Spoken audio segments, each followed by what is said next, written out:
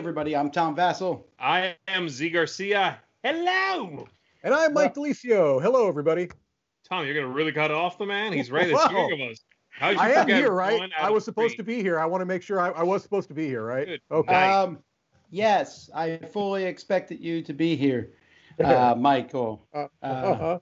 Uh huh. No respect. that's true. I tell you.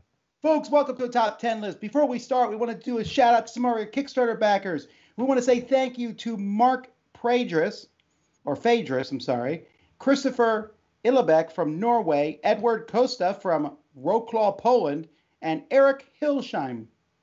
From where? Thank you, everybody. Just America? Oh, that's boring. Oh, Everybody else we was were- so foreign. That's right. I love it. Thank you, everybody. We appreciate your support. Indeed.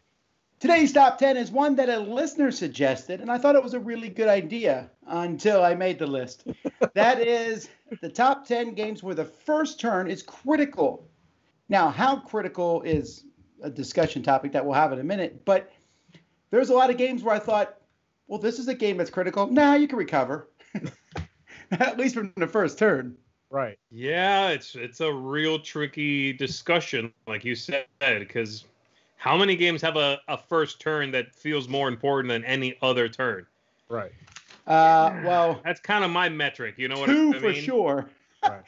there were two where I was like, these two are on the list. That's kind of where I'm at. Well, I'll tell you how I handled it is I cheated unrepentantly through this entire list.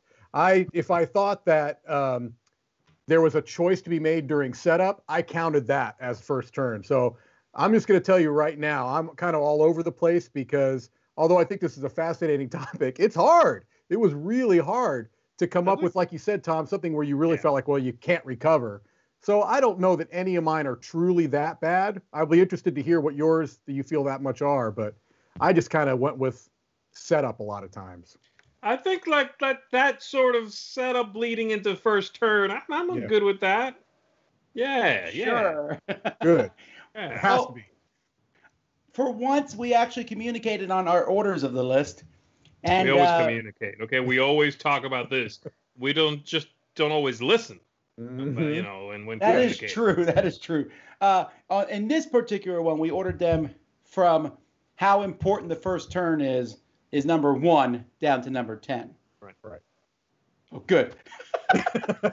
and I'm sticking with that. Yes, that's absolutely how I made my list. I mean, in our own opinions and our own, you know, uh, we're gonna be trying to explain ourselves to each other here. I'm sure. right. Uh, you know, I'm really, I'm, I'm curious. I think there will be very little crossover. But- I agree.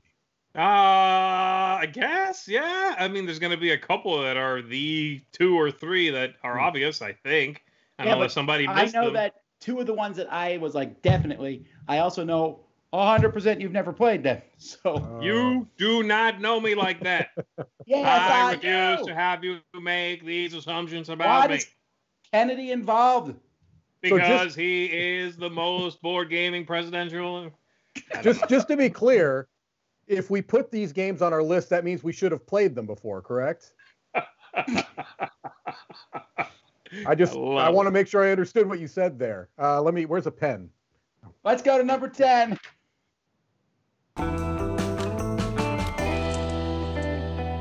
Number 10. All right. Well, I guess I'm the critical, crucial first turn in this list. Am I right? That's This right. better be the this best. up, this whole top Let me tell you.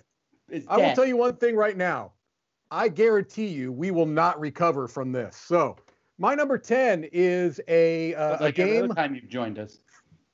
You know, this is just outrageous. I if if I wasn't tethered to these headphones, I'd be out of here. My number 10 is Francis Drake. And this is one where um, it has a little bit of, uh, there's a couple of reasons why. There's really only three main f- kind of rounds to the game. And at the beginning, you've got what's called the provisioning phase, which has that one way track mechanic that you see in a few games, like um, uh, Tokaido has it in Parks and some other ones. But it has that Egizia. thing where Egizia is another one where you can jump as far as you want along this track to get whatever you might want, but you can't go back and you're giving other people potentially more turns because whoever is last will continue to go. And so that is something you that can make a really, really stupid first turn. you can make a horrible first turn thinking that this is crucial and and other people can prey on that. And the other thing is that during the sailing phase, which is the second part, there's a little bit of programming involved where you've got these numbered discs uh, and you're placing them placing them on particular areas. And anytime there's programming, I think that could potentially lead to a critical error where things don't work out the way you expect, or other people kind of get to a space before you, you know, were, were hoping to, and that could kind of blow up your plans. And so this one I thought had two ways that the the first kind of move is really critical. I've I've played in games where I got too aggressive during that provisioning phase, jumped pretty far ahead because I wanted to take one of these special roles that were out there, and I ended up getting pretty crushed, and it took me uh, a long time to catch up. Hmm. I like Francis Drake a lot. I'm having a hard time. Believing your Remembering how- lies. I've never played, so I agree with Mike 100%. I think it's a fantastic pick, and he There you is go. right about everything he said. For sure. Tom, what part are you uh, struggling with? No, I. The English. I, I just think that if you could say messing up makes a bad first turn per se, you could do that any game. I could say Monopoly because on turn one, I could land at a property, then immediately sell it to you for a dollar. Sure. It's true. I mean, it definitely. I, I get that. In fact, I changed my mind entirely. Mike is very much wrong about this pick. I am in Tom's camp. I, Because I mean, I you think, can do really stupid moves at any game, like oh, just on my first turn, I'll pass.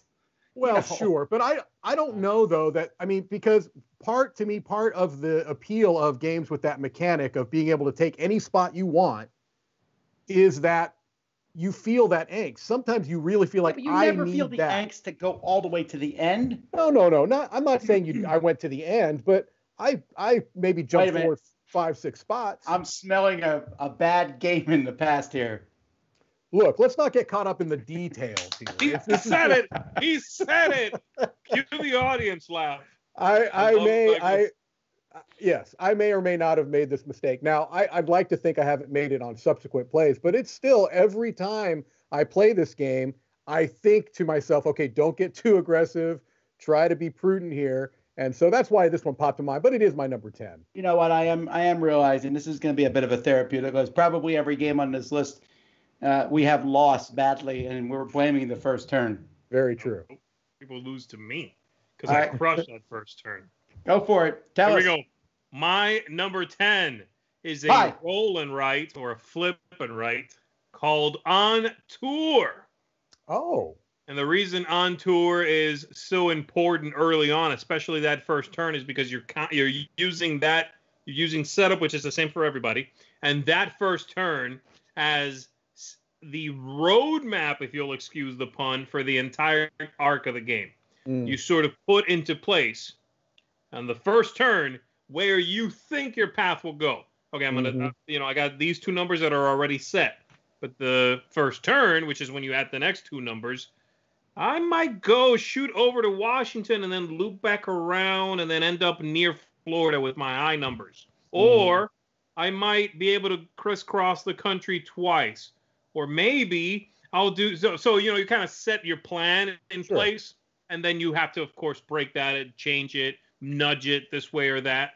But that first turn, you sort of go, you know, overall big, big, you know, big picture and mhm. start refining that little by little as the numbers come up and whatever order they come up, as the cards come up. So I find having that plan first turn out the gate to be really important. If you don't, Hmm. if you aren't already thinking about where you hope the map will end up, you might throw out a couple of numbers early, and they really get in your way later on. Right, They're just right. blo- blocking your path. So, um, yeah, uh, on tour, flipping right, my number ten. Haven't played try it, it. so I accept what you say as fact. yes, Correct. that's a good. It's a good pick. My number 10 is Through the Ages. Yeah, you haven't played, it, you don't know. All Through right. the Ages, a big Civ game. Now, I would argue that most Civilization games could fit into this type of thing because your opening moves when you're doing any kind of Civ game are pretty big. Mhm. If you don't, you know, if, if you play Sid Meier's Civ and decide to make your initial build, you know, settlement, you know, in a in the middle of the desert, you're likely going to lose. Uh, maybe not, maybe not exactly. It depends. But through the ages, I think your initial moves at least determine how you're going to play throughout the rest of the game. Right. So that's a pretty big deal. Um, I- I find it really hard to pivot in through the ages. So if I start doing something one way, you know, if I'm going to build my civilization towards production, or I pick a leader on the first turn that does this, that's kind of where I'm heading, at least for a long time. Right. Yeah. So yeah, and this would be ages- especially rough if you if you made a bad first move in this, then you have another seven and a half hours to go trying to make up for it. It is So not that long of a game. it is at most six and a half, and I Right. resent the. Actually, it's probably a three-hour game, but right. Yeah. I know time probably passes more slowly as you get older. This is just brutal. All right, whatever. Number nine. Okay, my number nine is uh, a game called Assault of the Giants, and this is a game that is uh, a board game that's set in the Dungeons and Dragons world. Uh, I, Tom, do you remember which? Uh, what's the Giants world? Do you remember what it's called? Oh, I Uh, call it Land of the Giants. Uh, oh yeah, no, that's like that old TV show. yeah, I don't no, remember Land of the called. Lost. It's where all the giants live. No, there's a Land of the Giants TV show, Mike.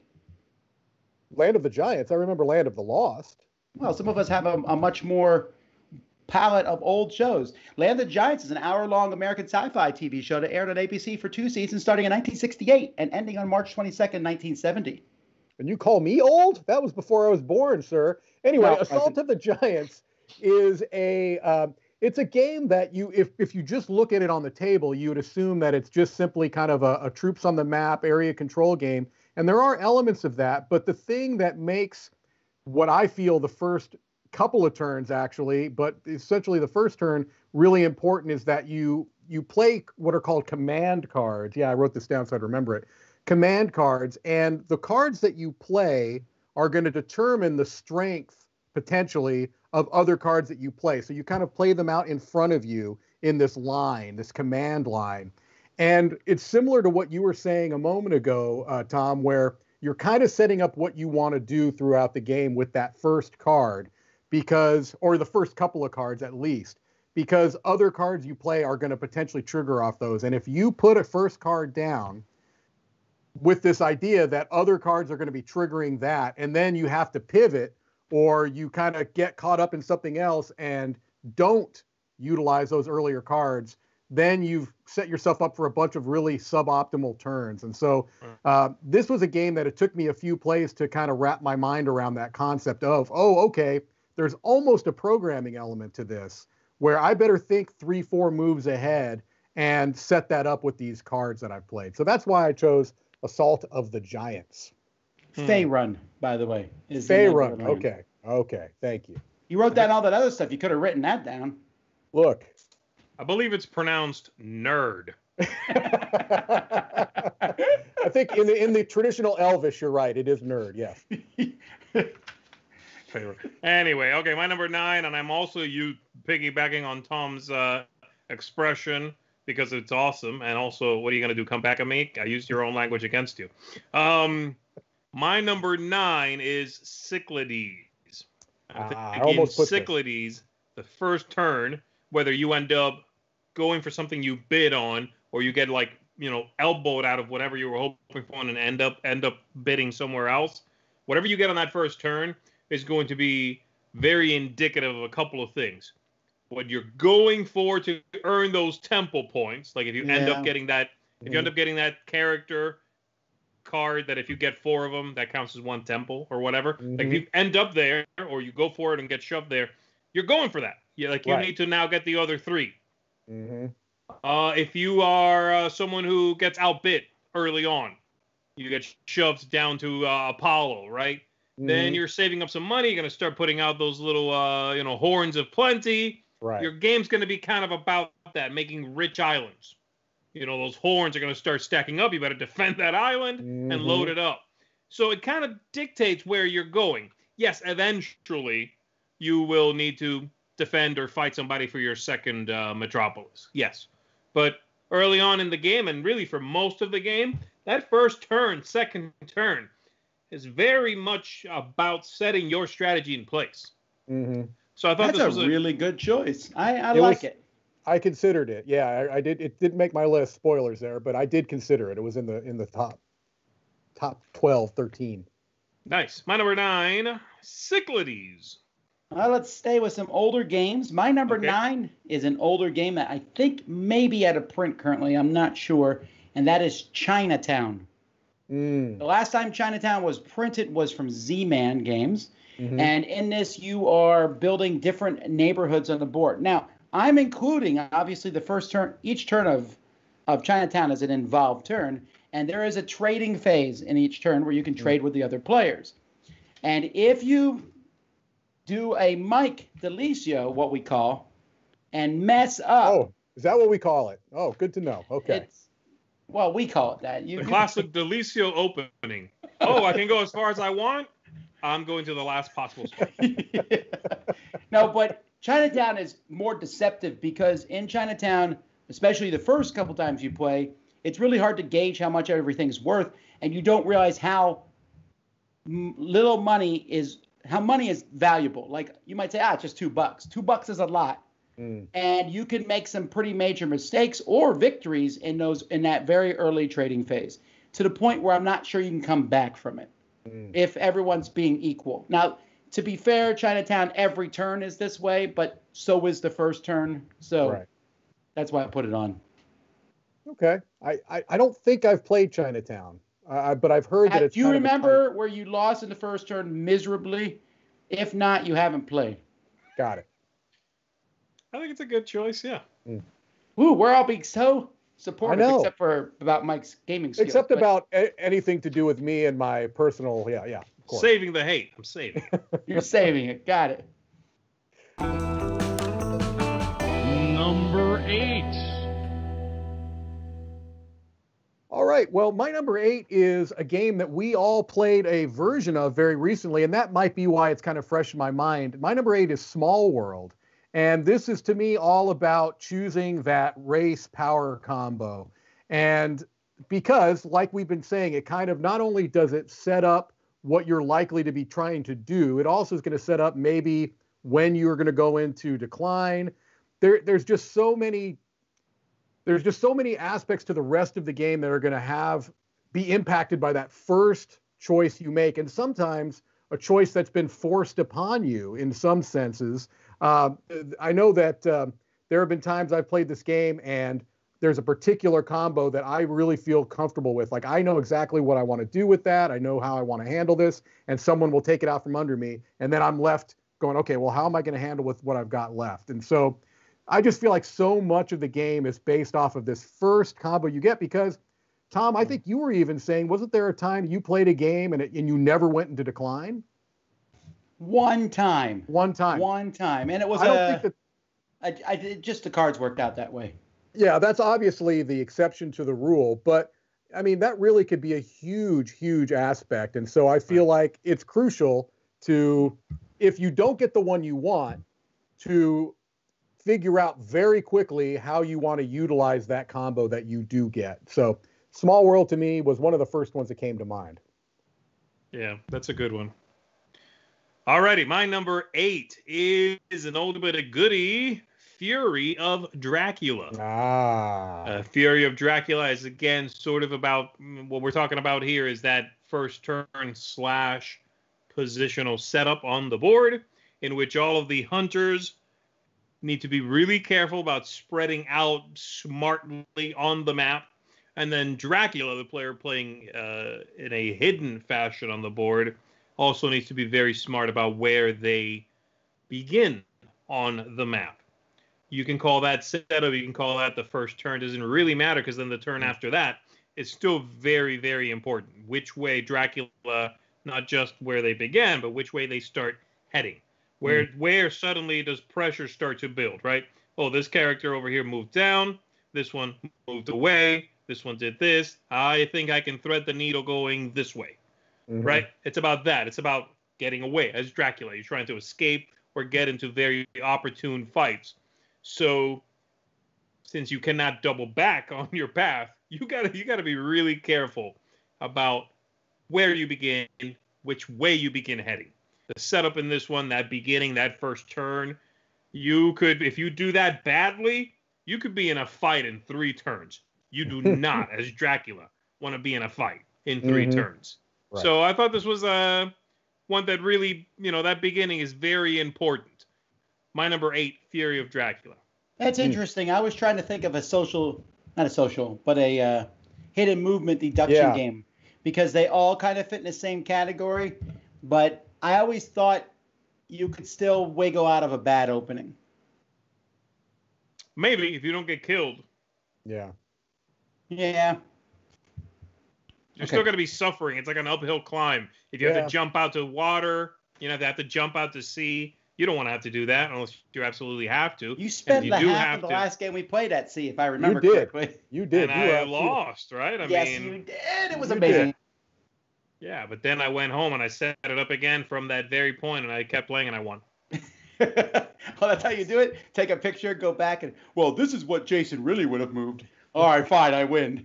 That's All what right. we call revisionist That's- history. That's I need to do that. Ah, Mhm. all right. My number eight is ISIS, possibly on Mike's list. We'll see. And I think that is Root. Now, Root's really been on my mind lately since I've been playing the app. Root, especially a couple of the factions, I think the opening turn is incredibly important. The cats is important because you control the board at the beginning, and you don't want to lose that initially. The birds are important because you want that first combo that you're building to last as long as possible. Um, the I don't know so much about the. I think the vagabond could probably mess up their first turn, but Yeah, the vagabond's just gallivanting around the forest. yeah, I think you, he could pivot, and maybe the Woodland Alliance could pivot, but the other two, you gotta really come in strong Right. and not mess up on that first turn. So I think it's because of what you said. The the the vagabond and the woodland are slow burn factions, whereas the the birds and the and the cats start in that position of power. I would say that the birds, I think, are the ones that fit this the best because again, there's that Oh, yeah. programming element. You can go you could go into uh, a turmoil in your first turn if you just do something again. That's, that's a boneheaded really thing. bad if you do that. Right, though. it is. That's that would You're be like going to the last DiLucio. space. Uh, You'd be pulling a DiLucio in that case. I The really DiLucio let me, blunder. let me make this clear. I don't want this to become a thing. The DiLucio blunder is a I- thing. I really we It's can already we in can just the uh, Dice Star Dictionary. I'm editing on the leave Wikipedia. right Go to here. urbandictionary.com and type in DiLucio blunder. Actually, I- don't because I wouldn't do that's that. dangerous. You don't I know would not do pull that. up. no, not a good idea. it. That's All a right, good my- choice, Tom. Thank you. My number eight is Root. Number seven. All right. Well, I'm going to be interested if either of you have this on on your list. Um, Yeah. This is a cooperative trick taking game, and I could probably end right there, and you'll know I'm talking about the crew. Um, the crew, I think, in a couple of ways, the first turn is is crucial. Number one is this is this idea of, am I going to use my communication? Am I going to use my ability to communicate by saying whether this is the only of a particular card I have, or the highest of a card, or the lowest? I think when you do that could be very crucial. And oftentimes, I feel like maybe this is just me, but I feel like oftentimes you want to get that informa- information out as early as possible, but that's not always the prudent thing to do. There's almost, I feel like, this internal pressure to to do that, even if it's not the most prudent thing to do. And also, the first card you play can be obviously crucial in any trick taking game, but uh, especially in in uh, something like this where you have that collective angst of if I mess up, I'm not just messing up my hand, I'm messing up the whole group's uh, mission. And so I just feel like there's this this little bit more stress on the first turn in the crew than in other games like it. So um, I don't know. Based on your reactions, uh, Zee Zee doesn't have much of a tell here. He he does I- not look like he's in on this one. I disagree. Yes. Okay, why? I don't think the first turn is any more stressful or important or interesting or. Uh, Man, you are vital. so hateful towards this game. I mean, no, no, I'm not. I'm, I'm, I agree with everything Mike said. I just don't agree that it all is more important on the first turn. Absolutely, putting out that card that gives information away is important. Mhm. I don't think playing it on the first turn is uh, necessarily better. If I if I can It's give you a card that's that's like way more important to know on the third turn. Now at the beginning, I'm kind of shooting in the dark. It's like here's my highest whatever card. Great, but also this character over here has uh, we all have two green ones, and you put out a green one, so not useful. I mean, whatever. I'm I'm trying to come up with a situation, but Yeah. I don't think the first turn feels any more vital than say like that fourth turn where you're going, okay, now I have choice A, I have to follow, so it's choice A or choice B. This is the turn where if I mess up, we're done. Well, Does that make feel like sense? what I'm saying? It, do, it does, but I feel like it's situational. I feel like there are times because I've played games like it, and and it's in a game like this where your missions are so quick. Maybe you don't feel that that huge issue like you would in a longer game, but I feel like there have been times where we've played and that after the first round we already pretty much knew we had lost. Uh, we're like, uh, you know, this is going to be really hard to pull off now because we already screwed up something here on this first round. Um, and so that's kind of why this came to mind. But it is situational. You're right. It's not always better to play that or give that information first round, but it depends on the mission. So I don't know. Tom, All right. would you like to weigh in here? I would not. Let's just go to yours. Got it. You, it's coming up on your list. Okay, I gotcha. Well, you know what, Tom? Hey, that's my fish. Is it It's my number seven. hate or Oh. hey? That's my fish. No, not hate. Hey, Hate. That's That's, my, my fish. Is a very different game. that's It a is, and I- I- game. I want to riff on it, but I'm not going to. That should have come out. A crossover between hate and hey, that's my fish. That's where you say, "Give me the fish." You're like, "No." Then I'm eating you. yeah, that's- yeah, yeah, exactly. I want to see the trailer Um, for that game. Go ahead. Hey, that's my fish. Oh, Ah. oh my goodness. Um, in this one, again, part of it, yes, is setup where you put the uh, your little penguin to begin the game, but also that first jump out from that spot. This board, the the setup, the tile layout for hey, that's my fish, falls apart extremely quickly. Like it takes longer to set up the game sometimes Yeah. than yeah. to play it. You immediately fragment this thing.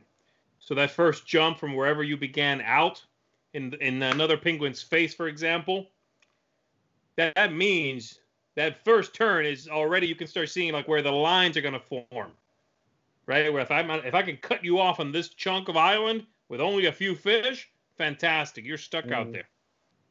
So right away, it's that in your face, that menace, that jump out to to somewhere um, very confrontational, and it all depends absolutely on the kind of player that you're playing with. Some folks are not going to be that aggressive right away, Right. Sure. but the game is so short, you almost have to be. You have to co- go out there and claim as much of the of the board as you can. So, I think that first turn is important. It's extremely vital, you know, to to claim what's yours. Mm. Hey, that's my fish. You know, get out of my Mhm. face. My number seven. Hey, that's my fish. It's a lot of those little abstract style games that that meet this criteria. Especially one the, the land grabbing ones. Yeah. yeah. The one I like slightly better than this, it's the um, where you have the big stack of sheep moving around. What is that called? Uh, war sheep or something like that. Battle sheep. Battle sheep. Battle sheep. Mhm. All right, where are we? Number seven. Here's a crossover. First Ooh. crossover, and that's with Mike. That is Small World. Mm. Yeah. I- Oh. I cannot agree more. That first turn is pretty critical. You have a Mhm. bad first turn in Small World, or just not a great one. You want your Yeah. first turn to be pretty pretty solid, Yes. and you need to be able to hold what you have too. Having someone come and just beat you up. Uh, that first combination, yes, you can take the top the top combination, but I would always consider taking a better combination for your first one. Right. The best one you can see Mhm. and then looking, you know, maximize that points because it's hard to come back from that. It's not impossible, right. but yeah, that small world opening move is a big deal. And probably for the same reason, Mike, having just played Small World of Warcraft, this was on my mind. Yeah. But uh, Yeah. small how world, how you how you value those combinations Yes. also is really important. Like a It is. good player who's played a lot knows that the combination of like you know uh, dragon riding skeletons or whatever, you're like, That's the most powerful thing out there. That is definitely Right. worth three coins. So they'll Mhm. pay Yeah. boom, boom, boom to skip. I might not know that, you know what I mean? But yeah, Sure. somebody who's really good, they know that first turn is vital. Yeah. Right. All right. Number six. All right, my number six is uh, the probably one of the most famous modern board games out there, and that is Catan. Is that what we're calling it now? Catan. Uh, this is all about the uh, that initial setup, uh, where you place your your initial settlements, and and uh, this was the game. Although it's not my number one, clearly, this was the first game that came to mind when you brought this topic up because uh, I was actually just speaking to you about this earlier, Tom. This was the game that brought me into the board gaming hobby. And the person that taught me the game was kind enough to point out how important it is where you place your initial settlements because your game could be really be almost ruined at the beginning if you don't know any better you haven't played a game like this before and you put it on an 11 12 something like that and you're not going to get production it, it's it's just it's a huge part of the game some might argue too big of a part of the game because Well, I feel like if it's your first game, you should play with the setup it shows in the book. Well, that's I suppose so. I suppose so. I mean, that wasn't the case when I was taught the game. I didn't have the game. I didn't own the game.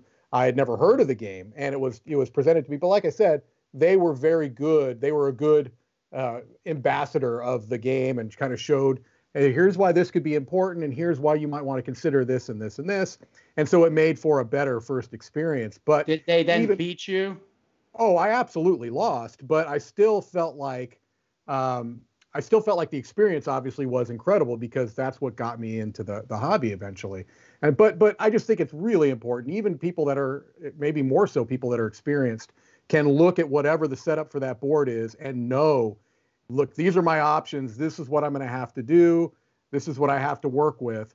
And uh, I, I just think it's it's huge. I think it's it's a it plays a huge role in how the rest of the game is going to play out. Obviously, you're still luck involved. You're rolling dice, and who knows? Maybe the the tens and elevens and twelves comes up more than they normally would, but you're playing odds. Well, sure. But yeah, I didn't include this one on my list it, because I didn't do the setup thing that you did. Yeah. But Oof. That sounded like I didn't I did the list correctly. Did you hear that, Mike? no, no, no. Let me rephrase. I didn't pick it because I was following the proper rules that were Ah. set down. Ah, There it is. I see. There I it see. is. Okay. And I didn't do my sniff yet. There you go. Okay. That was good. That was really, really good. Uh, so I don't care. That's my number six, Catan. All right. Rude. My number six. I went. I went in the uh, Wayback Machine for this Ooh. one. I haven't talked about this game in easily a decade. I think Woo! this is a two-player game. It was Chess. published by. it was published by Z-Man back in the day. It's called Shazam with two M's. I'm about to Whoa. transform.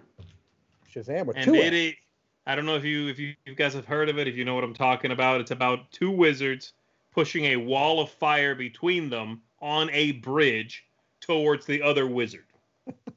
Okay? Huh. Sounds I'm assuming it's not a wooden bridge. It is not a wooden bridge, though it does fall apart over several rounds.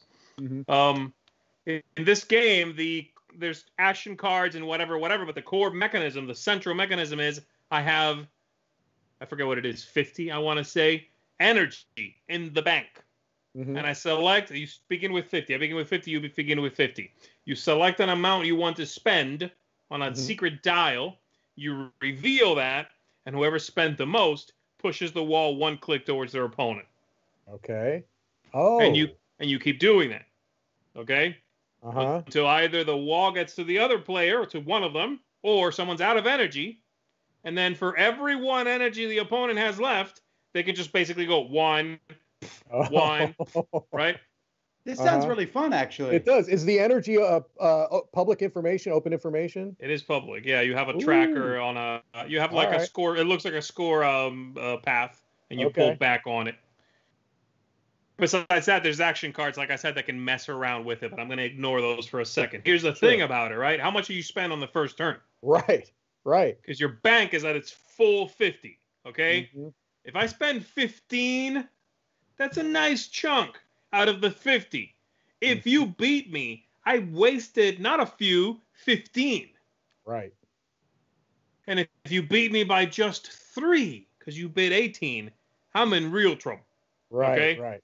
Because that's a whole lot gone with no gain whatsoever. So the very first bid in the game and really in each round sets the pace for that round, right? You can Yeah. do bluffing with that first one. You know, Mhm. you you say 16, I did two, just in case you do one. You know what I mean? Right. right. And so now I'm really I got 48 left. You know, Mhm. so it's very interesting. And right away at the beginning, there's that uh, that bluffing, that double thing, that push and pull, how much you go into the reserves right away from the first round. Very important. Right. So yeah, Hmm. that's uh, that's my number six pick. Shazam! I feel like transforming again. All right, my number six. Oh, you're back now, right? I think is how that works. Mhm. That's true. What if you said it a bunch of times really fast in a row, like Shazam, Shazam, Shazam, Shazam? Then I think Beetlejuice shows up. That's right. Hey-o. Number six, escape from the aliens in outer space. In this game, everyone is secretly moving at the same time. So this is my, I guess, hidden movement one. Right. Uh, and Mhm. in this game, you announce how you're moving, but you could be lying. However, people can keep track of what you're doing. So eventually, they should figure out if you're lying or not. It might be too late at that point. Some players are aliens hunting the other players. Some people are humans. At the beginning of the game, if you're a human, you got to kind of pick a path. This is what you're going to do. If you're an alien, this is what you're going to do. You need to decide that pretty much turn one. Mm. You you're then kind of moving that way. It you'll find out as the game goes by whether it was a mistake or not. In my case, always. I'm not sure I've ever survived this game. Even as the alien, you just get eaten by the other alien. I'm not sure I've ever been the alien. Mm. you got to get on that, Tom. Yeah. You, if, if you haven't been the alien, you haven't. That's played. where I play the game and I'm like, all right, we're gonna play this I'm the alien. We play. I'm like, yes. Great. okay, yeah, game's over. But you were Uh, the alien at least. You know? Mhm. All righty. My number. Yeah, this one is very stressful, a lot of fun, but I really think that opening gambit of where you move is that big of a deal. Right. So my number sip sip six. Hang on. There we go. Yep. Oh, sorry. I just took a six. My opening six is this open. Number six is Escape from the Aliens in Outer Space. He's the alien. Number five. I'm losing All it. Losing. All right.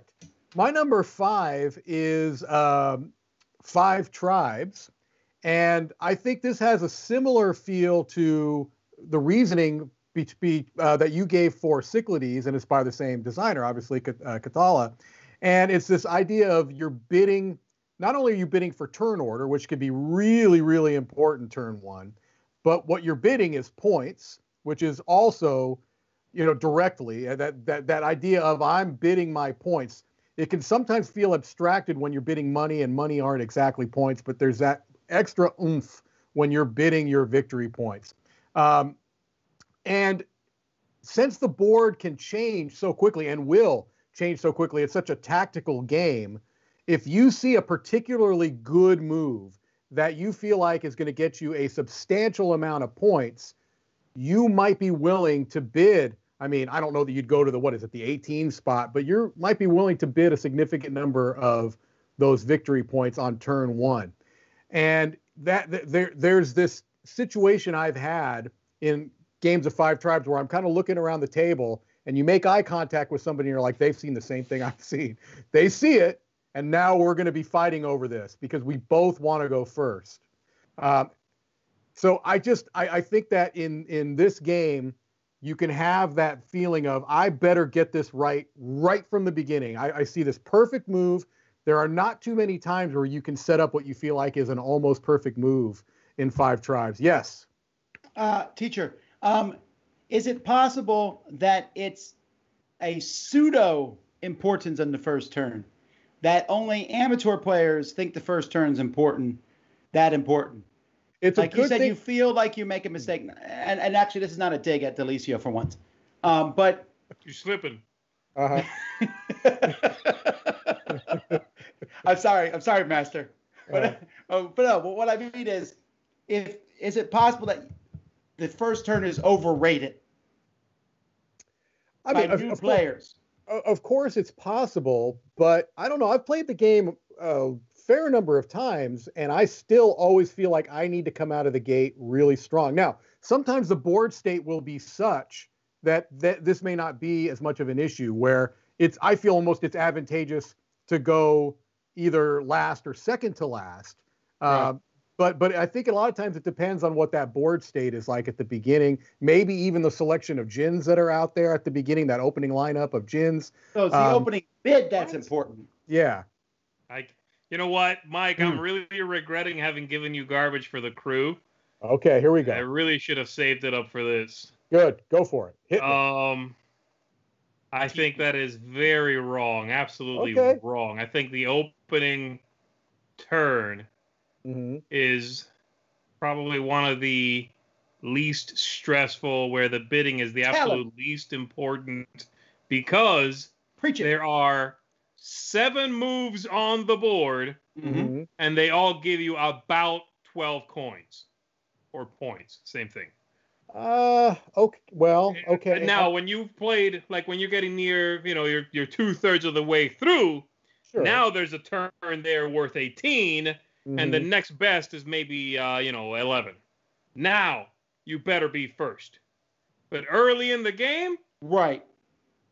Tom, be quiet. Sit down. Um, Okay. I think better in the You're gonna regret game. I. I absolutely disagree. I think anybody who Hmm. comes out particularly aggressive out of the gate and they bid even as high as eight, I'm going to Mhm. crush them. Mm. I think I will crush that person because I can bid zero and have basically the same turn. You know what I mean? You- Like ultimately, I'm making about as many points as they are on that turn. I get what you're saying, but I mean, I don't know that I've found that it's that it's that close of a spread of points. Tom, stand up. I'm back. I don't know that I've found that. I think I think maybe you're overstating this idea of every you have seven moves and all of them are we going to be 12 points. I think that's being a little bit glib on this. I do think that there are times where that might be the case. I But don't I know also the think- meaning of the word glib. no, really, I don't. I'm not sure what glib is. No, No, I just I just I mean I mean like I think you're underselling it a little bit. I, I, think, know what it means. I, already said I knew Oh. what it meant. I'm sorry. Um, I, I think that that may be the case sometimes, but I do feel like that there are times where there's clearly a move that's going to be quite a bit better. And again, especially if you sense that other people see that move too. And I also stipulate that it might be that I don't play the game very well. I don't think. I mean, I have Well, won the back game. My original question, then, and now I do No. mean it as an insult. No, I've won, I've won the game plenty of times. I've not won every time I've played. I don't. I wouldn't consider myself a poor player. And there are times where you know I've never bid you know that terribly high on the first turn, but there have been times where I've been relatively aggressive because I see what's a really good move. Anyway, we're gonna have to agree to disagree on this one. That's As an my. aside, Z, we gotta be nice to Biker. He's not gonna come back. Oh no, I this, think what we need to do is set up a play of five tribes. let's do it. DiLucio versus Garcia. I'm coming out and I'm bidding 18 on turn one. Let's go. Let's go. All right. Uh, what what do you got? My number five is uh, also five tribes. Disagree. I think uh, that would be great. Could you imagine if it was five tribes after all that garbage? No, I'm kidding. No. My number five is uh, Neuroshima Hex. Neuroshima Yes. Hex. At the beginning of the game, the very first turn, your very first turn, everyone's, is selecting where your HQ begins on the board. Mhm. And that is extremely important. Depending on the army, you want to be tucked away in a corner, or you want to be out in the middle somewhere. You want to be surrounded by your own guys, and your special ability propagates through them, or you want to be tucked away where you can protect yourself with just three tiles. Mm. Uh, that's very important. I mean, there's nothing else to say about it. It depends on the army you're playing, where you should go, and if you play second, where you should go in relation to where the first guy went. Or, you know, if you're playing more than two people, I guess, but don't do that. Um, Oh, when's the last time you played Neuroshima Hex multiplayer? Three? I played three at some event somewhere. It's been in years. Yeah, years and years. Uh, yeah, that's my number five, Neuroshima Hex. All right, my number five is a game that's really out of the public eye at this point, although for a while it was super hot and I really like it. Still, although I haven't played it in a while, and that's Dungeon Twister. Or Dungeon Twister Prison. They're all the same, essentially. Dungeon Twister, you control eight different characters that have been thrown into a dungeon by some ultimate mad mage who just wants you to fight for no reason other than his pleasure. But the so it has rotating tiles. You have characters who are moving around, picking up items, and fighting each other. There's very little luck in the game. Uh, you play cards for combat. The if if you're not counting setup, where you pick your characters, and even if you start with the same teams, that opening moves you make are very critical. Where am I going to move? How am I getting in position? If I fight in the first turn, what card am I going to play? I really like this game. It is way thickier than it looks. It looks kind of silly, mm. especially the cover, fantasy style. Uh, it could have been anything at all. You get a point if you knock out your opponent or if you get one of your characters to their end line. But like I said, you can see everything on the board, the, the, except you don't know where the initial equipment and what the tiles look like. Mm. But once you reveal them, it's on. And I think that first turn is chess like, and I refuse to put chess on this list. Yeah, me too. it's been way too long since I played Dungeon Twister, so I'll just have to say, yes, you're right. I don't I'm, remember. I'm surprised yeah. with all the many, many reprints that this one hasn't hit that mm. list. You know, it it's yeah. uh when did uh Dungeon Twister well, they made uh, the card game, which was not as good, but the the original should come back out. They could go crazy with the minis for this. Yeah, throw Dun- it on Kickstarter. Yeah. Dungeon. Yeah. Well, it had standees. It came out 2004. Then they came out with Prison, which had no. minis. I'm mm-hmm. saying they could go to Kickstarter. Sure. And with minis, you know, unlock extra characters, unlock new maps. That's like true. this has Kickstarter written all over it. In fact, announcement here today, folks. Have you heard of Awakened Realms? Well, Awakened Realms has not talked about this game, uh, though they might do it in the future, I suppose. Who do you think would have the rights to it? I mean, maybe hmm. Matagot? Christopher Boelinger, maybe? Oh, sure. I mean, the, the yeah. designer, yes. All right. I don't know. Yeah. Number four. Uh, before we get into four, I'm going to say that at this point, I'm locked in. Like, these are four that, for me, from four on up, no question for me. Mm. Wow. You will okay. be questioned. Yes. I feel pretty good with my number four because I know Z hasn't played it and he can't shoot me down. All right, my Z, number four. you played it though, Tom, so you can come you. in. I got you, you can hit me on this one. My number four is Cloudspire, and this is a game where I feel like everything is in this the way you set up your initial deployment because you've got kind of deployment points and you have to choose how you're going to spend those deployment troops. What troops are you going to be bringing out? What order are you going to place them in? Because you place them in a stack. They're chips. It's a chip theory game. And so, do you stack them together? Do you make them a, a stacked unit or you put them out individually? All of these things are going to really determine how the rest of that round, that whole round plays out. And that could be crucial. There could be times where you've played it well enough that you're able to get some damage on your opponent's uh, you know, kind of, I don't remember what they call it, your barricade. And then there are other times where you don't even get past one of their towers because you've just done something poorly or you didn't necessarily foresee how things were going to work out. And so most of the time spent in this game is figuring out on that turn one, okay, what's my strategy? What types of units am I going to get? What order am I going to put them in? Am I going to stack them or am I not? Am I going to go to the market? All of these are things you're deciding at the very beginning. And it really can make the flow of the game be crucial at that point. So, Tom, what are your thoughts? I know that you played that. Yeah, this is a good one. I didn't think about this one, and I don't have enough experience with it to yeah. to a certain, you know, on how true this is. But it feels right. Yeah. There's a lot of stuff you're you're doing on turn one, and I felt like when I played it with you, that I made really bad mistakes. That I mm. wasn't. I remember that guy who taught you Catan. Yes. That guy wasn't there when you taught me Cloudspire. So I went wow. out of like, my way. I don't want to say that I handheld you, Tom, but here's here's the thing. Here's the thing about Mr. Tom Vasel that that you may or may not know, friends of the Dice Tower, if you suggest something to Mr. Tom Vasel that might be a good idea, Mr. Tom Vasel is going to do the exact opposite of what you suggested. Not always true, but And so keep this in mind if you ever play a game with him at a convention or something. If there's something you want him to do, tell him to do the opposite. well, it's kind of like if you say nobody can win doing this, I'll think, well, right. we'll see about that. Exactly. I've never seen anyone try It's that like before. Star- I'm doing it.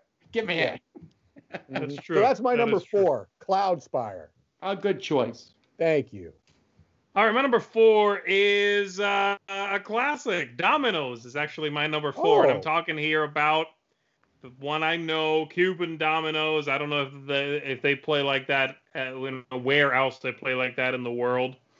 But in this game, it's a partnership game, 2 Mhm. versus two. Your first turn is extremely vital, and you are telling your opponent or your your partner, I should say, you are telling your partner a lot of information with that first piece you put out there. Mhm. Okay. Um, for one thing, whichever team is opening the game by putting out a, a starting piece, they between themselves figure out who wants to start.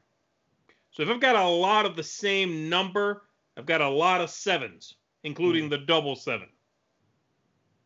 I and and we are starting like you and I are starting. I'll I'll probably suggest extremely soon. Like uh, let me begin. I'm going to start, and I'll put out that double seven. That tells you, hey, I've got a lot of sevens. I'm strong in this quote unquote suit. Mhm. I might even have so many of them that the next player right after me can't play. That would be an ideal scenario if they have to Mhm. knock on the table because they can't play, right? So that's the, the the opening information is that right now. If if whatever I do, I put out that double seven, the very next player plays, their piece is going to be a seven matched with something else. That something else is also quite a bit of information for their partner. And so you're reading who's got what, what are they short of, how can I make the guy after me skip a turn because I block him out of playing. There's all these things that happen, and they happen right away on that first turn. Mm. So that is my number four. You know, for anyone ever saying the Dice Tower is snooty, we just had dominoes on a top 10 list and a number four spot. That's right. Yeah, dominoes is a good choice because if you don't flip over that first domino exactly right, the rest of the ones that are supposed to fall, they- they just don't do it. And so I I couldn't agree with you more. This is a fantastic choice. Well, at least he's agreeing with me. Take what you can get. All right. My number four, Z, other than when he joined the Dice Tower, has never been more wrong as when he said Mike shouldn't put the crew on the list because Mm. just is not good at this this game or something. That first turn is so critical to the point where someone will throw a card down and I'm like, we yeah, lost. we're done. We're We done. lost. Yeah. Uh, that is, I'm sorry, the crew is so it's so important. Those opening shows what you're gonna do, and that opening card you throw out more than any other trick taking game, Mhm. easily. Yeah. This is two on one. I'll That's take right. even if it is Mike, that's still more than one. I where where's the exit? I I can't. Hey, loose lips sink ships. I'm jumping on that ship. I don't care if it's going down. I'm jumping on. I love Good the choice. crew. Tom. Number three.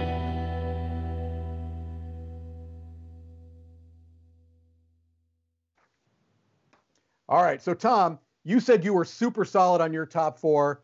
I, I feel pretty good about four, especially since he hadn't played and he couldn't crush me into the ground. I'm Right. super solid on my top three. Uh, I feel good about these three. So, Let's my number it. three is uh, a tactical skirmish game called Wildlands by Martin Wallace. And this game, Ooh, one of the good. reasons why I love this game so much is that it's all about the setup. And I d- Mm-hmm. absolutely consider the setup in this game turn one because what you do is you've got a, a numbered map that has 40 spaces on it, and you have a deck of cards, 1 to 40. You shuffle them up, and each player will get 10. You choose five of those 10 are going to be where your units are going to pop up on the board. So your opponent has no idea until you turn over a card and say, okay, I'm popping up on 23. The Mhm. other five cards are going to be where your opponent's crystals are that they're trying to get for points. And so it's the, the setup in this game is I like 30% of my enjoyment in the game is in this part of the game where you've got those 10 cards, you're picking your five units to come out where you want them, and you're picking your opponent's five crystals on where you want them. Yeah. And that could be so important because a lot of times you'll want to put a crystal in such a way that when they come over there to get it, you ambush them because you've set yourself up to pop up right next to them. And you could even play a interrupt card right in the middle where they're about to go get that. You go, nope, I'm right here and I'm going to punch you in the face. Yes. So I think that uh, Wildlands is a fantastic game for that first Or Judge turn, and Dredd. so important. What's that? Or, Or Judge, Judge Dredd. Dredd. If you like that theme better, the Judge Dredd Helter, Helter Skelter is the Skelter, same yeah. game. Same game. So that's my number three, Wildlands. I think it's a fantastic pick. I really do. Thank you. I you got you got three way agreement here, Mike. All right. All right, my number three is a game I don't particularly like that much, actually, but I think the first turn is incredibly important, and that is code names. Huh. I think code names, the very first turn where everything is on the board. If you are the kind of clue giver who can get your team to guess three things on that opening gambit, Hmm. you're probably going to win because I can only give them a clue for half a card. you know what I mean? Hatred seven. Right. If you can do that crazy move where you go, you know, uh, donkey four, and they're like, oh, this one, this one, this one, and maybe that one, but we won't guess on the last one. If they get three right out of the gate, I think that's pretty good. If they get four, that's really good. Um, again, I'm bad at this, but I know that that first turn, you simply have more opportunity because there is more on the map, on the on the map, on the you know what's out there. You also need to be really careful about making sure that you don't include in your clue the bad card, the the bomb, right? The one Sure. that if they if it get, gets uh, caught in the crossfire is going to outright eliminate you. So that very first salvo out of the door, I think, is really important. And I another thing, a box of code names here, but the code names pictures as the that's true. I did because it doesn't really matter. Uh, you know, it's code names as a family. Uh, any of them work. Um, the other thing about it is, if you, based on that first turn, if your team doesn't guess as many as the number you said, then they have a carryover clue. Also, hmm you know, like if I say uh, potato four and they guess two things, there are two other cards out there that I associated with potato, and you can carry that over. So, there you go. okay. That carrying over stuff makes sense. I was going to say you Yeah. can do that any turn, but you're right. If you start Yeah. out on that first turn strong, yeah, you it's kind of a down. I've definitely got to the point where I'm like, well, we need to do four right now to win. That's that's what I mean. Like catching up in this game. If you're not keeping pace with the other team, you are losing unless they mess up. Sure. You know. Um. So yeah, my number three code names. All right, my number three is uh, this. You could have put any of the 18xx games, I think, probably on this list. I don't play those enough to know, so I'm just going to say Age of Steam here. Age of Steam, I like it a lot, but that first turn, that bidding, the first bidding round is important as to what you're going to get. The X, you know, whatever's needed for that particular map, laying the track out first to be able to claim and uh, where the best combos are on this board. I'm telling you, every time I play Age of Steam, I always have a bad first turn and then don't catch up. I've won Age of Steam before, yes, but against inferior players. That's rude. That's true, but I lose to superior players much more often. That's how playing games works. I, I don't even. Yeah, yeah, but yeah, yeah, yeah, yeah. So what I'm saying is, the, it's the first turn. No, I've gone, I've gone out of that first turn from Age of Steam many times, going, oh, well, here we go for the long haul. That's how I go out of every turn in Age of Steam. It's true. Yeah. It It's a, it's actually true. yes. Oh. Age of Steam, my number three. Number two. All right. So my number two, Z, you said that you weren't a big fan of your number three. I'm not a big fan of my number two, uh, but Mhm. but I do feel like this is a game where the first turn is really important, and that is Kingdom Builder. Uh, Kingdom Builder, the game where you've got you know the modular board with the different terrains, and you you've got one card you're working with. And depending on where you start your settlements, that could really be crucial, really, really crucial to how the rest of the game is going to go. Um, I just feel like you're setting up your whole game, really, in many ways, with that first turn. Uh, and that's one of the reasons, honestly, where why I'm not a huge fan. I feel like you're you're very limited, you're very constricted in that game, and I do feel like that's part of the design. I feel like that's a purposeful design decision that was made. It's just mm. not one that I particularly enjoy. I like feeling like I've got more options than fewer. Um, but that design that design decision leads to a crucial feeling first turn where you can feel like you're pretty much like cornered. You know, I was like, oh, well, I'm I'm kind of stuck here because of what cards came up because I've got one card I'm working with, uh, and so Kingdom Builder was another one that that came to mind relatively quickly for me because I've and this is one where I will clearly stay. I have felt like I've lost the first turn right. in this game based on on on how uh, yeah, it, it you're played gonna have out. to play the new one and tell me what you. I haven't played the new one. Yeah, I'd like. Do you Kingdom. feel like it mitigates this somewhat? I think you might be surprised at the difference of it. Okay. what are yeah, your I'm, thoughts I'm on Kingdom too, I, yeah. I feel the same way as you do, Mike, about okay. the game, and, and, what you're saying makes a lot of sense. Mm-hmm. And I am also interested in checking out this new Winter one, Winter Wonderland yeah. Builder. Yeah. It's Winter Kingdom. I don't want to get people confused here. Right, right. But yeah, that's that's my number two. I think it's a crucial first turn, Kingdom Builder.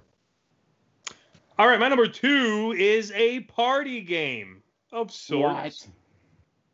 And I think the very first turn is by far the most important turn.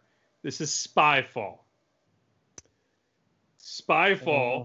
the first time it's your turn to open your mouth, people know about 80% of what they need to know about you, if not 100. You know what I mean? It's, uh, uh what's the the weather? What? Yes, absolutely. Like, so that first round, like you know, uh, with, with the first time anybody, any one given person speaks, so their first turn, incredibly important. They yeah. could go from like no suspicion at all, which is probably true, but also they could be amazing bluffers, right? Mm-hmm. To I don't know if I can discount you as a possibility for the spy. To oh, so and so. You know what I mean? Yeah, yeah, yeah. It's so incredibly tense, so very important that you do not mess up your mm-hmm. first turn out of the gate. It might go around a few times, it, it might, but that first turn, I, I really do think is like three quarters of the like the figuring out who's who at the table. Mm-hmm. So Spyfall is one that as soon as I thought of it, I was like, oh yeah, Spyfall, absolutely. I think it's one of my top favorite moments in a game ever was where you and me suckered Sam. I said, "Are you?" Sh-? I think it was sucker Jason, didn't we? No, Jason copied the joke. Oh, he you know, did. I said, yeah, I right, said, "Where right. are you?" or something to that effect. And everyone laughed, and Sam said, "What's so funny?" We're like, "Sam's a spy." yes, yes, yes, yes. That's pretty good. All right, my number two. So a lot of war games obviously could be put on this list. You make a bad opening move in a war game, you're out. So for me, I'm picking a lighter war game, Axis and Allies Pacific.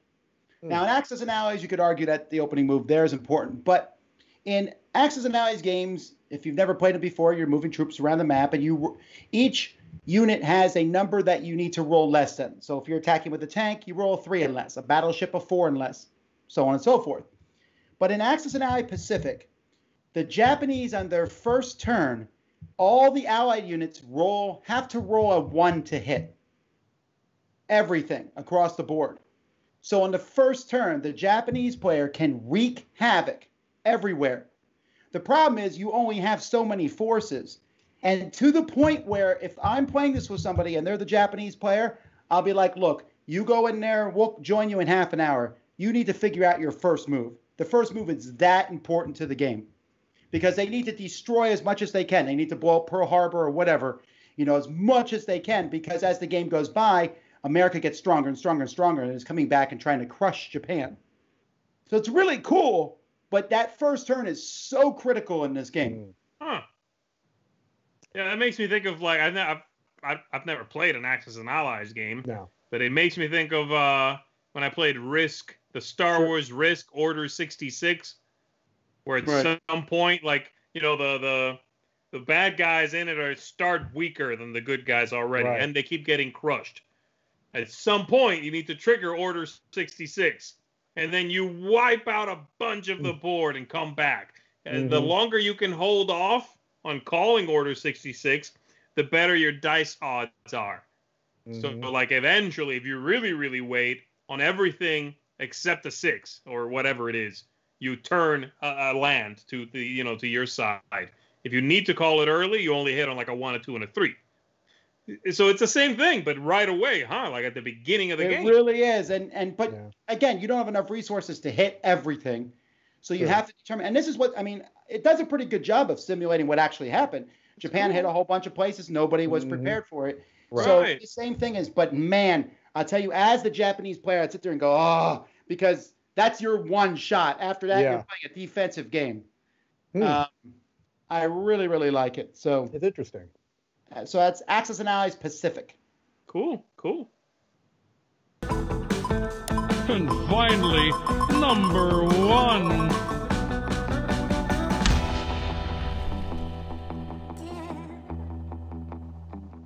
All right, number one, give it to us, Mike. All right, Come my number one. My number one is Seasons. I'm just going to come right out with it. It's Seasons. Now this this is a game that I feel like this Huh. is such an important part of the game. That draft, that initial part of the game, is such oh, an important part. draft. Yes, I mean it's everything. It's the whole game. The whole game is there. It's so much so What if you don't that draft? they tell you when you're playing the game, they've got pre-constructed decks for players. It's so crucial. The game is ruined if you if you don't know really how to do that, or or if you just make a crucial error. And this isn't just about the DiLucio effect, as I you know as you like to call it.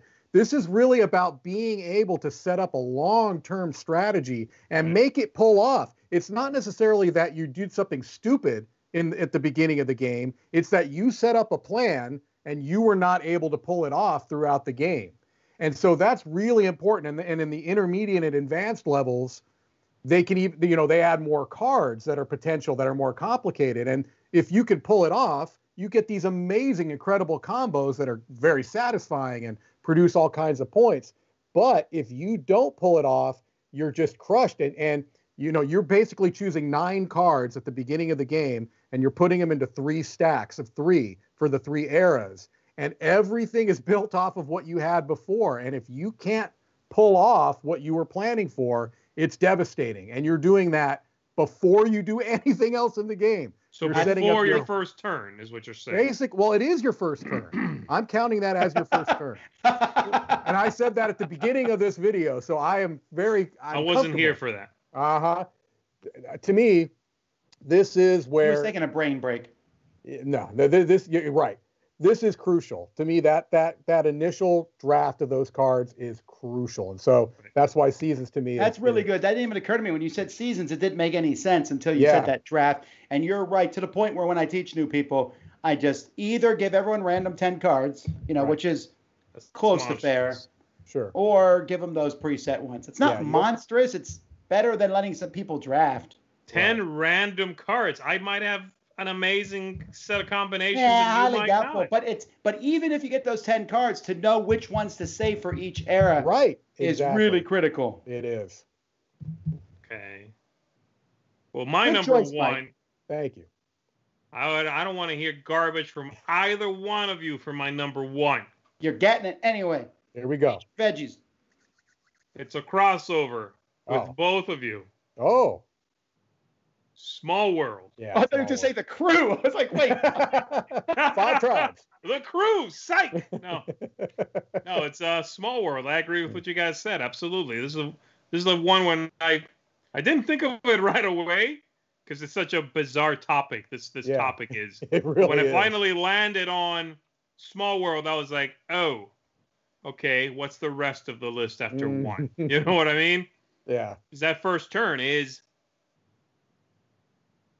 possibly 100% of your game, you know, right? I mean, Right. or at least half your game. Right. It's a good turn. chunk of your game. It I is. mean, if you go into decline twice, you might, but that's rare. So it's at least likely 50% of your game. right. You have probably two races. This is half the game right there. Yeah, it's Mhm. so important. And like I said, I think someone who is really good at the game, knows how to value those combinations, is going to crush someone who does not have a grasp on that. Yep. Even if they have to pay a little bit more, they know they can make it up. You know, that's the difference. Right. So absolutely, this is this shot to number one right away. Very similar to Five Tribes in that way, Zee. Yeah. I see what you did there. All right. My number one is a game I absolutely despise, oh. Interesting. but uh, apparently the first turn's important because if you don't do the right thing in your first turn, you may be stuck for the next four hours playing a Oh, game in which I know what you're gonna will pick. score very few points, and your opponent will get not double your score, but 20 times your score. And that would be Food Chain Magnate. Yeah. Now, I've heard that um, Huh. a lot of the Splotter games are this way. Right. I've heard that too. But my word. And when I was done and talking to people, they're like, well, yeah, on the first turn, you should have done this, this, and this. I said, well, that would have been really handy information on the first turn, you know. Um, because when I was there, they're like, oh, you could just, you could pick anything you want. There's like all these different roles, but apparently only four of the six you can pick are the ones you should pick. And if you pick this one, then you need to do this and blah, blah, blah. Get this game out of my face. I'm sure the people who play it enjoy it, but you're wrong. No, you're not. You're not wrong. But wow, that first turn's important. And it just compounds. I've never played a game where the second turn I regret it my first turn, and the third turn I regret it both the first and second. The fourth and at the end I just regret it. Well, life. But right. um, ah, Huh. ah. Wow. Yeah, I haven't played this, but I have heard this from multiple, multiple sources that it's brutal. That and, and I've like you were saying, I've heard that many uh, Splotter games are like this, where you've got this huge open, you know, you you've got this vast wonderland of choices, you know, like like hey, you've got 20 workers in the whole game, and if you want to, you could put all 20 out on turn one. You know, that's great and that's novel and it's cute, but it also can lead to a very unsatisfying experience if you are not prepared for it. So that's interesting. All right, let's see what the people said. Number 10, people voted for terraforming Mars. I think the first one is important. I don't know how critical it is. I, I Right. think you can overcome a bad draw, Sure. for example, or Sure. whatever. Number nine, the crew, Okay. validating two of us. Number All right. eight, Axis and Allies. Number seven, five tribes. What, wait, wait, say that again, Tom. I don't think I heard you. Number six, Puerto Rico. Oh, I guess Puerto Rico has a first turn it's almost scripted though, isn't it? ish. Yeah. All right. Number five, Kingdom Builder. Obviously, Mike came and looked at this list. Yeah, no I haven't. kidding. I haven't, Mike. but I'm I'm, I'm happy though. with your own. I'm happy so far. Number four, chess. Yeah, I didn't put it because I don't play it enough. I love number three, tic tac toe.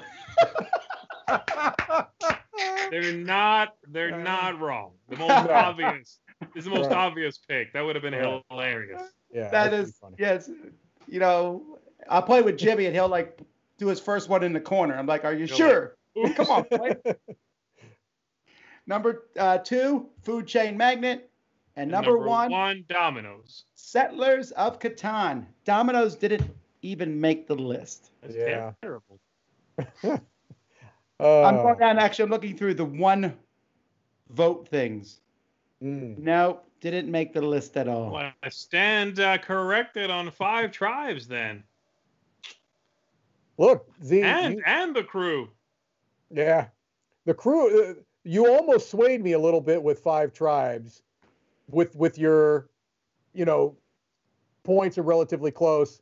You didn't completely sway me, but your crew, you'll never convince me. That's it's like Tom said. You can know after the first card is down. You're like, oh, we're done. You know, to me, that's the definition of a crucial crucial first move. So All righty, folks. Well, if you're watching this later on, put your own down in the comments. What do you think is a game with a critical first turn? We appreciate everybody watching. We hope you have a fantastic weekend. Stay tuned. Tomorrow we'll be back playing photosynthesis and the new expansion for it live. And then next week, the number of games we're playing is a lot. So Yeah. come back and keep an eye out on those. Until next time, though, I'm Tom Vasel. I'm Zee Garcia. Thank you.